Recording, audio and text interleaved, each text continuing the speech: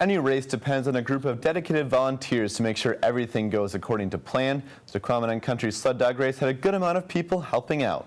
30 volunteers lended a hand this year. Officials say that's their best turnout ever. The extra help is needed with assisting the sled dog teams to the chute and controlling the dog's excitement. They were also out on trails assisting with safe crossings. It's been kind of difficult for some of the returning volunteers as they haven't been able to go to the same spots that they had been at in the past. Uh, with the destruction of our trail due to the fire, uh, we've had to adjust things a little bit. But uh, it's been a great turnout for volunteers. We've had great support from the Muskellunge Lake State Park. Officials are looking forward to returning next year to the Muskellunge State Park with a bigger group of volunteers.